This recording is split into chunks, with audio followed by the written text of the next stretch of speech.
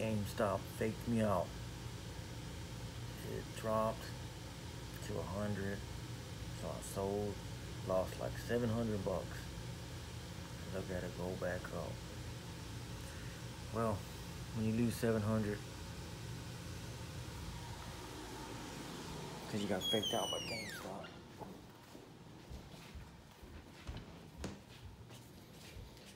Just uh, eat some beef. Make it a little bit better.